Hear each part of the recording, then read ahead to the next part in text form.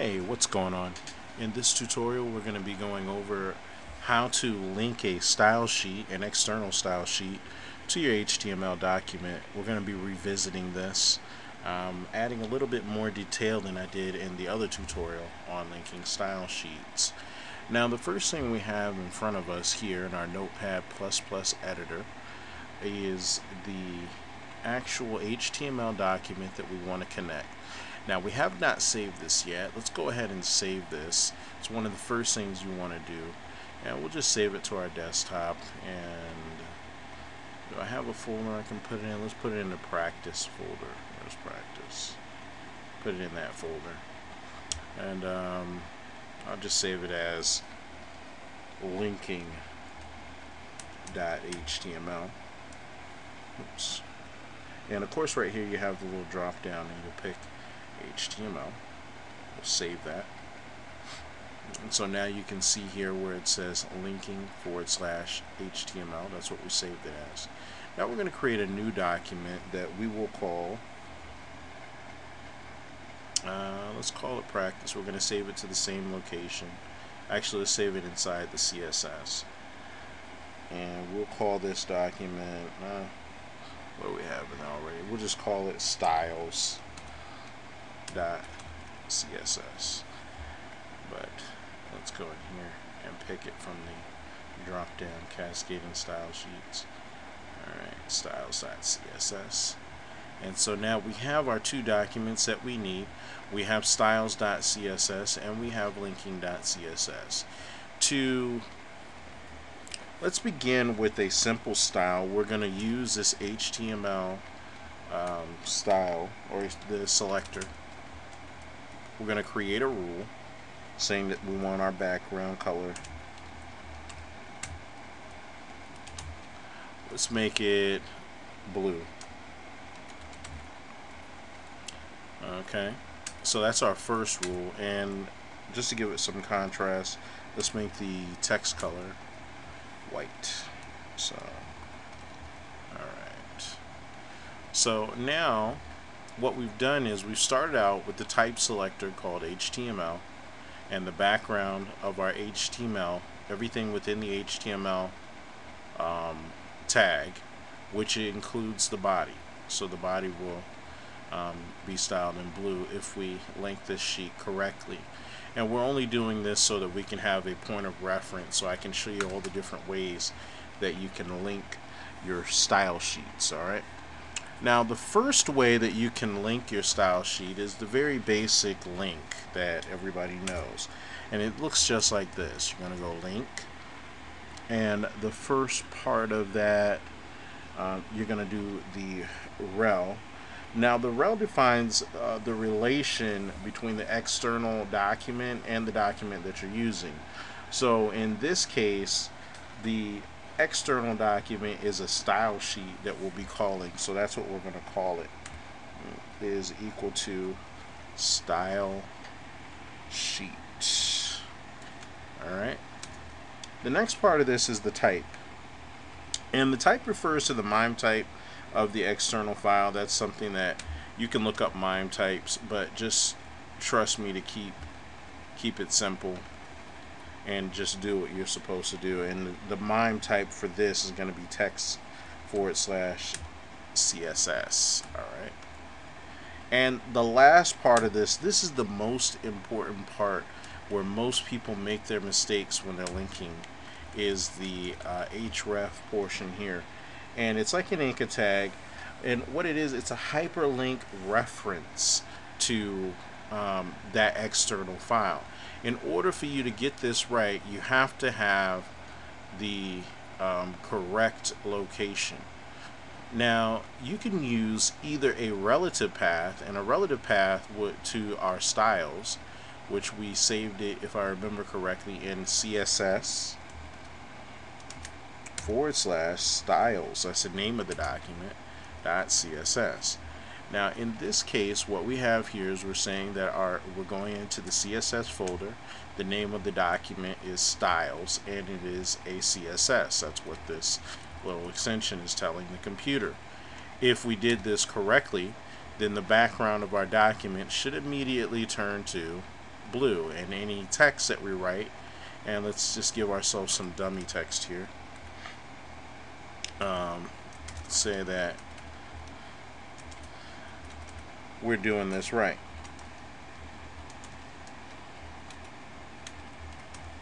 Alright and let's save that. Let's run it in Chrome. Whoops let me check this out. Let me pull this over here so you can see it. Yeah you see that blue. So this means that we've done it correct. We have linked our style sheet correctly. You can see that the text is white and the background is blue so we've done it correctly now if we had just put uh, styles forward slash CSS, let's see what would have happened. Save that. Let's go back to our browser, refresh, and you'll see that the styles have been taken away. So if you don't put the correct address, and this that was the relative address, and sometimes you'll see it um, like this with the little dot and the forward slash, that just simply means that relative to the position of this HTML document where we're linked from, it is um, in the same, it's just basically saying it's inside a folder. If you see two dots, then basically you would use two dots when you're coming out of one folder attempting to go into another one. I think you'd have to get more into uh, file management. So if I was you, I'd look for a tutorial on file management, especially dealing in um, getting into oh excuse me the um, command prompts and uh, situations like that but there there's some tutorials you can find on how to make relative um, now the other way that you could do this is you could put the absolute link now the absolute link will include the HTTP protocol you put that in there and the www if that's the case it might be like in our case, it would be uh, blog dot free web design tutorials dot info. Let me put that in there.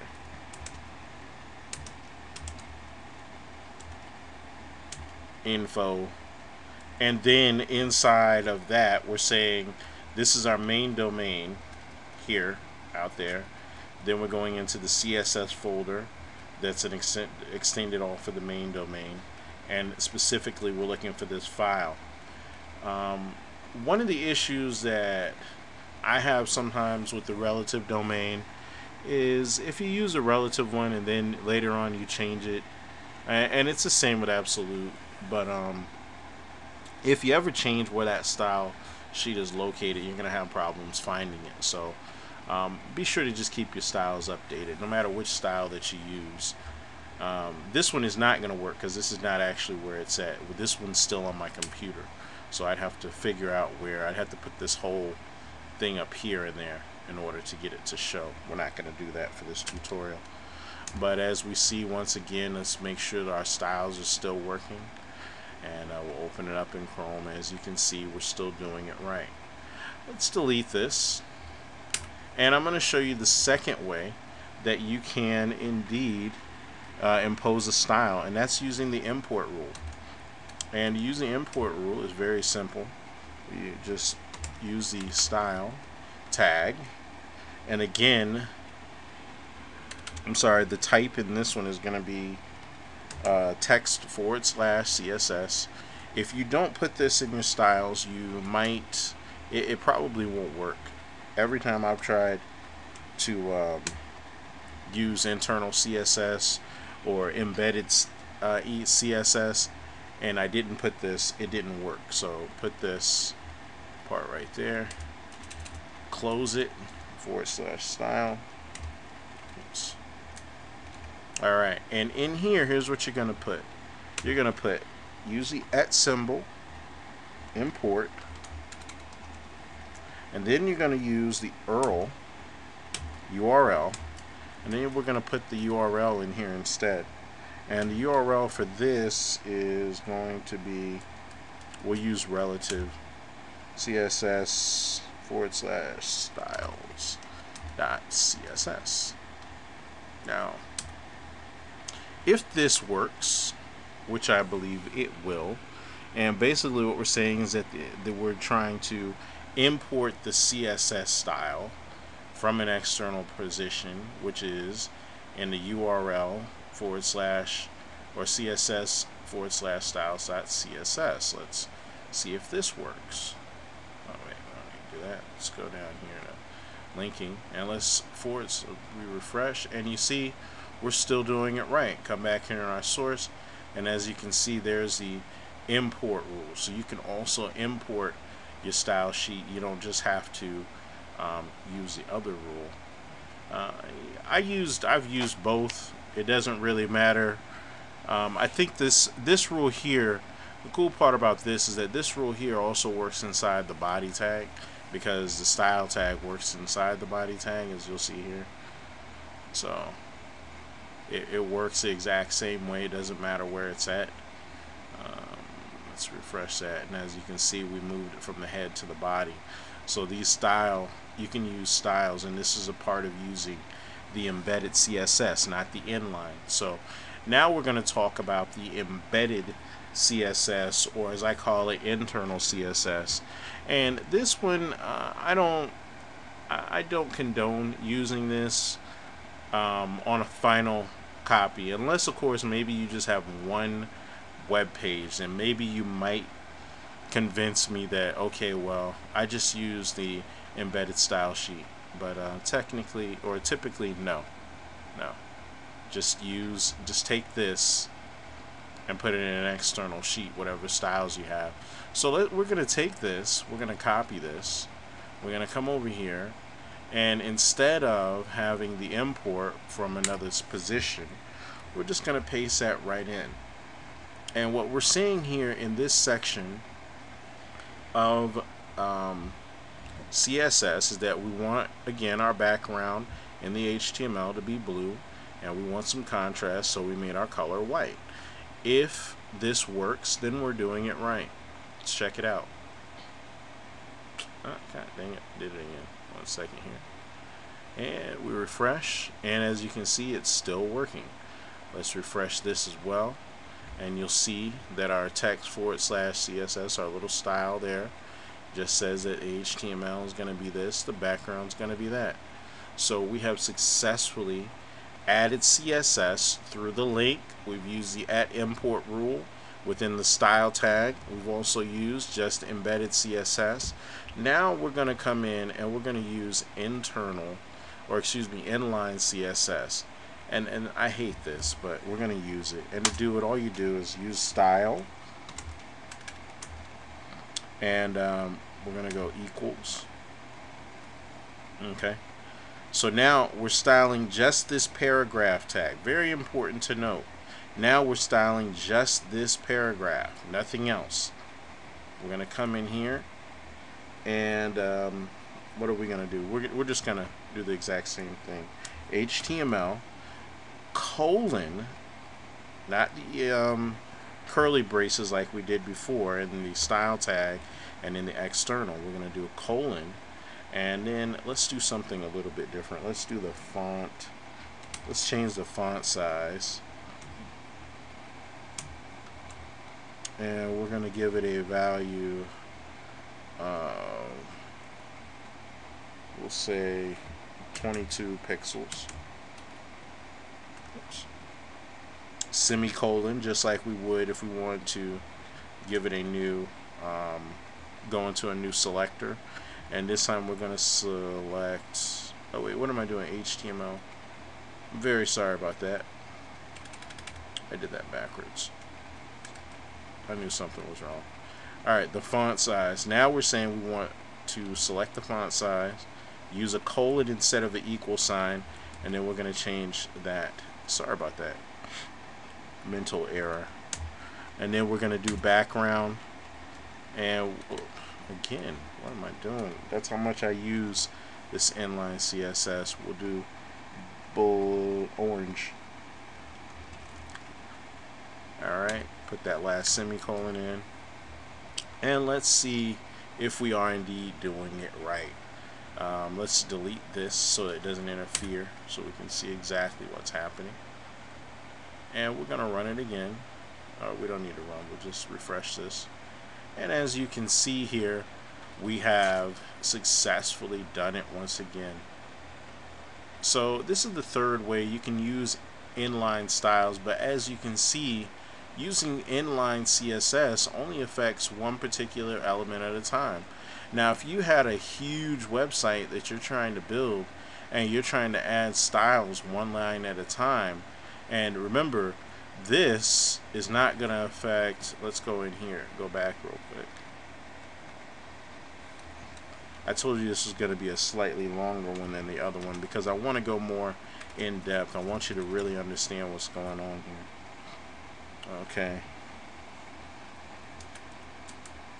And we'll just say ha ha ha because this one did not get styled alongside of it. We'll come back out here and watch that. You see that? So you just spend all that time writing out this little piece of code to make this one orange, right? Oh wait, let's go back.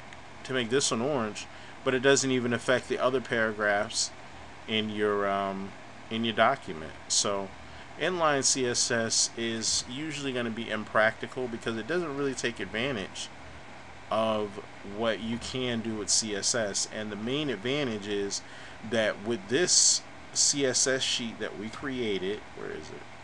There we go. With this CSS sheet, we can link this to any number of other web pages. You can even link across the internet. So let's say that I created a style sheet for you to use. You could connect with that style sheet using the absolute, um, using absolute uh, linking. You can use the absolute anchor tag, uh, reference tag there, and you can come all the way across the internet and use my style sheet and connect with that so you can get my styles. You can do that with CSS.